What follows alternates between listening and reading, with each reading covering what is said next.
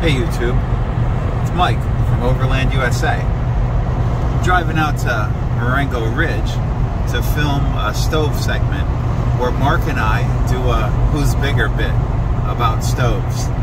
Alright, stay tuned.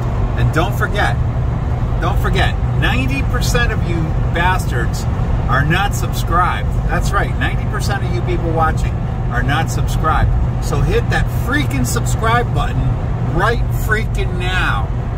Hey, stay tuned.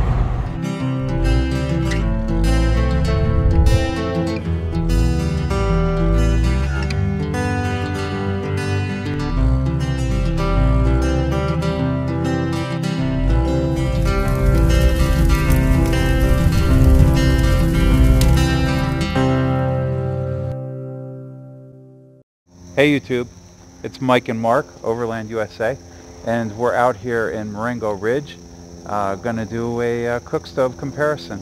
So Mark will start with uh, his stoves. So this is the first grill I bought when I started camping again. It's a Weber Smoky Joe, um, obviously a charcoal kettle grill.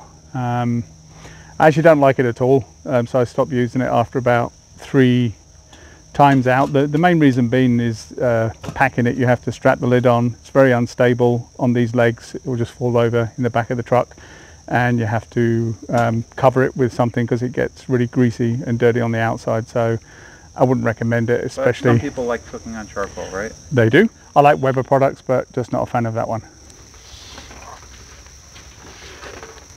So the next one is the Blackstone.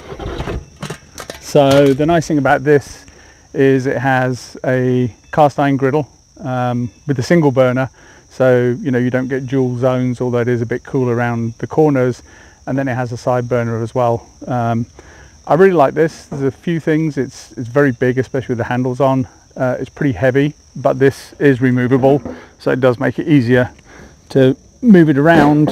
Although it also means you have to strap this down when it's in transit because otherwise it will just fly off. Um, this is about 200 bucks, but it's really nice if you want to be able to cook breakfast because it's a, a decent sized area to cook for two or three people.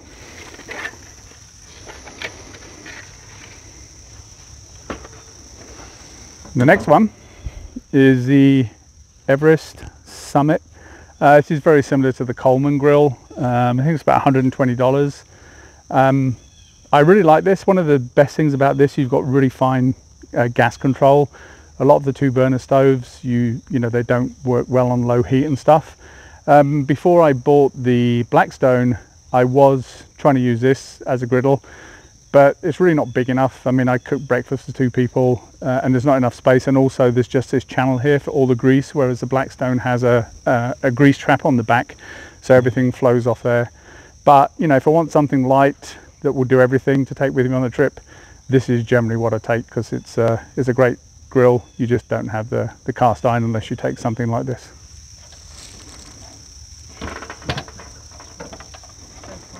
Okay, the next one uh, I mistakenly bought on the advice of a friend because his mother had one. what I was actually looking for was something at home to sear steaks on. My last big grill had a sear burner uh, and I currently have a Weber Q420 and it really doesn't get hot enough to do a good sear whereas this gets up to a thousand degrees. It's a single burner. Um, I think it's about $120 or something um, but I really don't like it. Um, you know, single burner doesn't give you much control. Um, it's really big and heavy for the, the size, for the amount of cooking area, and also the controls on the outside. So every time you're carrying it um, or it's in transit, these are getting dinged, so they're probably going to get broken. So I'm actually going to give this one away because I, I really don't use it anymore at all.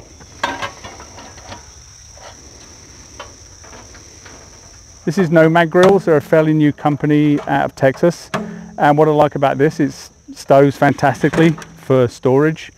Um, probably weighs about 20 pounds and the outside stays reasonably cool. I mean, so far this has never got above about 200 degrees, even when the coals inside are about 800. Um, so essentially you just unhook this, open up this, and this is a magnetic grate, so it doesn't fall off uh, when it's in transit. And you can get a second grate here, so you can double the cooking area. Uh, it has vents at the bottom here on the left and the top here on the right And Nomad also produce their own charcoal, they're light charcoal logs, and it's a, a really nice grill. It cools down in about half an hour um, to where it's you know 100 and something degrees, and you can safely put it away uh, in the truck. But you know, it's good, big enough to cook for two people. If you need to cook steaks or something for four with the second grill, uh, the second grate with it open, you could easily cook for four people. Uh, and it has a built-in thermometer here. I, I put it on the plastic. And then finally, the trusty Jetboil. Uh, the only thing I use this for is if I just want to boil some water to make a cup of coffee in the morning, something like that, and I don't want to pull out, you know, the bigger stove and a gas tank. This is just super convenient just to boil enough water to make a pot of coffee.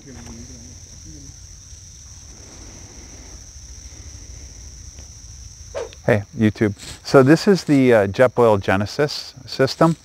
It, um, it uses standard one pound propane bottles and it the best thing about it is that it folds up into a single container. So I'm going to demonstrate that for you. It's it's about $400, so it's a little pricey, but it is super convenient and it is a full-blown um, camp stove. Packs away in a nice little package. Um, and it's it's good for camping, two burners. Next we got a trusty Coleman. I forgot how much I paid for this, somewhere between 50 $75. So I've used it like a number of times. It, um, it just works fine.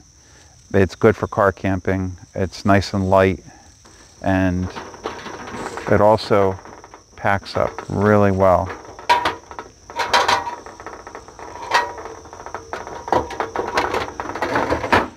Boom, done.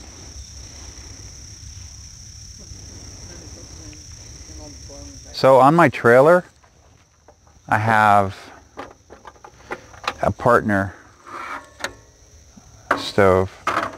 And this one, the thing I like about this is that it's uh, handmade, each individual unit, and it's made in America. It's made in Idaho, I believe, or Utah. It's two burner stove, hooks right to the propane that's mounted on my trailer, and it's just all stainless steel, easy to clean, comes apart real fast uh, for cleaning. But man, the biggest reason that I got this is because it's the only stove that would fit in the drawer in this trailer. Not even the Coleman would fit in there. So I had to get this. Um, cost is about 400 bucks. So camp stoves are a highly personal choice, right? Um, how much space do you have? How much weight can you carry? Uh, are you car camping? Are you backpacking? You know, and how much do you want to spend? Um, these these stoves, I think the top here was like 400 and something dollars. No, no, mate. How much is that? 599. Oh, 599. so Mark wins because yeah. he spent the most amount of money. Well, it's, it's anodized aluminium. They're small company, it's a new design. Um, I, I, think it's great. I mean, the aesthetics as well as the functionality. Yeah, it's really nice looking stove. It is. And um, and it's charcoal. Yeah. So not only you have to carry the stove, but you have to carry the charcoal, right? Yep. And then how do you dispose of the charcoal? It burns. it burns to nothing? Well, to ash, and then you just dispose of it in the okay. trash. Or, I mean, yeah, it's biodegradable, right? You could yeah dig a pit and dump it. So, like I said, it's a personal choice. You know, are you backpacking? Are you hiking? Are you uh, car camping? Uh, do you have a big RV and you're just cooking outside? Uh, and again, about how much you want to spend. So, uh, thanks for watching. Don't forget to like, share, and subscribe.